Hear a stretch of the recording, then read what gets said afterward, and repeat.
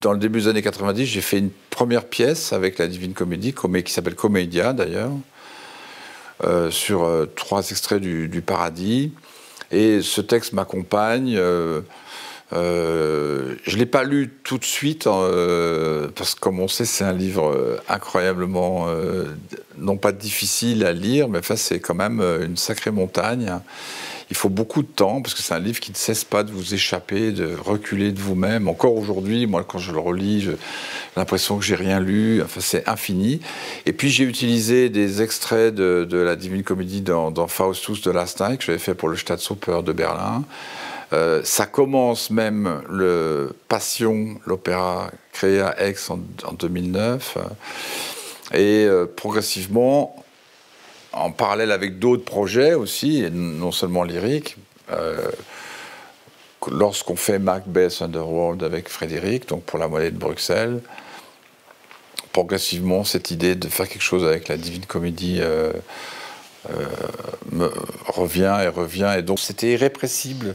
Je me, suis mis à lire, à relire. J'ai acheté toutes les traductions possibles et inimaginables qui existent, même des très anciennes. Il y en a une du fin 17e là. Et, et, je, me suis mis à marcher ce texte, à le ruminer, euh, et puis à le voir s'enfuir en permanence, mais j'avais un désir, euh, et je l'ai toujours, euh, immense d'aborder ce, monument invraisemblable.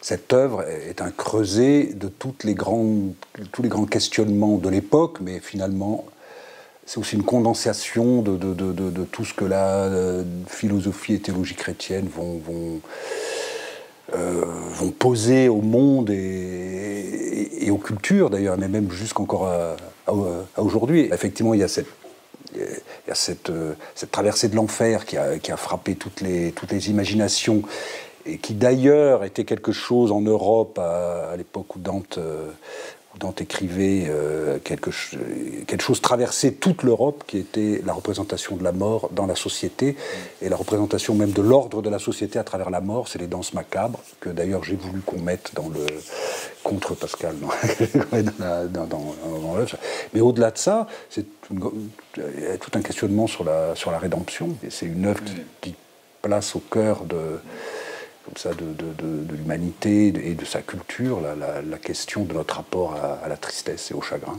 Et c'est une traversée du chagrin, c'est pour ça que Pascal était content, comme ça.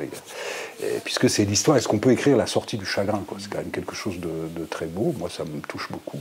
Dans, dans, les, dans nos discussions, euh, nos tâtonnements, notre, cette errance, enfin... Euh, un peu, un peu dantesque à un certain moment d'ailleurs, parce qu'on était vraiment euh, dans la forêt obscure.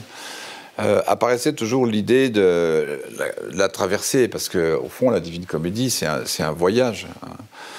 Et donc, le, mot s'est imposé euh, lui-même, le voyage de Dante. Quoi. Et c'est à ce moment-là que Frédéric, mais il en parlera mieux que moi, euh, tout d'un coup imagine une voie possible au travers de l'idée de, ce voyage, donc en allant convoquer plusieurs Dante, hein, et euh, ça on, peut en parler aussi, et de rétrospectiver, si, vous me permettez, euh, avec la Vita Nova. Hein.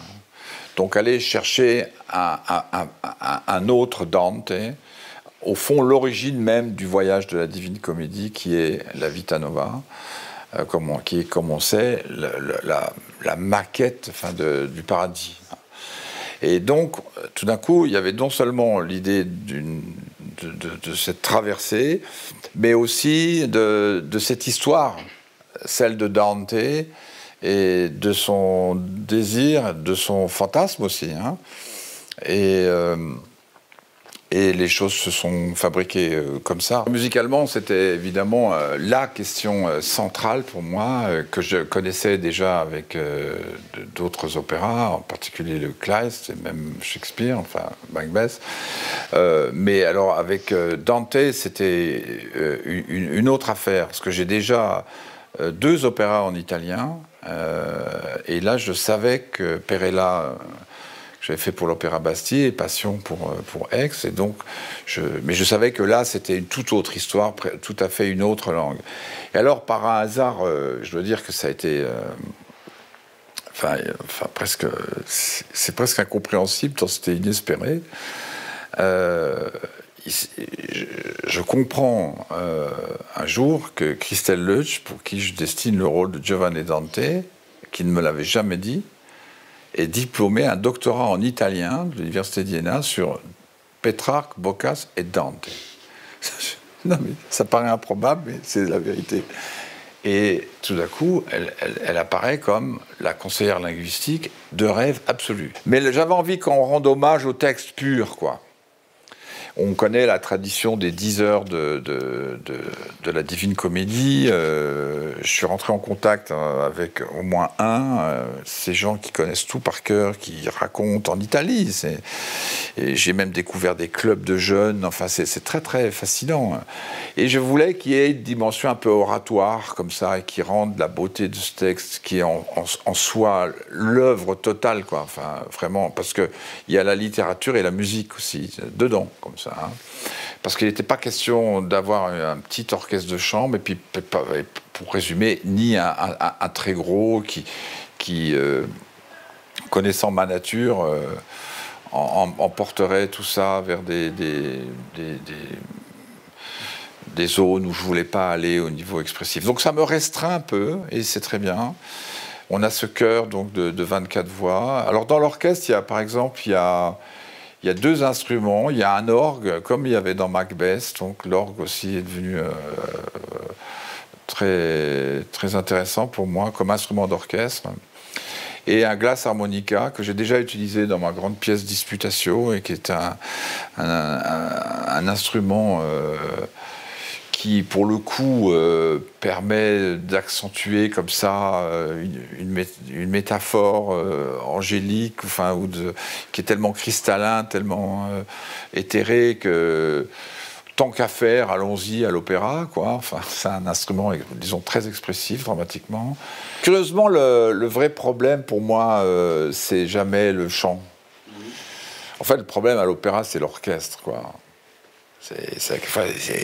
C'est, vous voulez faire comme ça, puis ça vous prend euh, des centaines d'heures. Euh, enfin, tous les compositeurs savent ça. J'ajoute que moi, euh, je le dis souvent, m'intéresse pas à raconter des histoires à l'opéra. D'abord, le cinéma le fait beaucoup mieux que nous. Ce qui m'intéresse à l'opéra, c'est de raconter une autre histoire. C'est une histoire de l'histoire, au fond. Donc, alors, en, allant convoquer une métaphore, bon, Penthesilée, euh, Faust, euh, Macbeth, Orphée, euh, aujourd'hui Dante, pour raconter le monde d'aujourd'hui.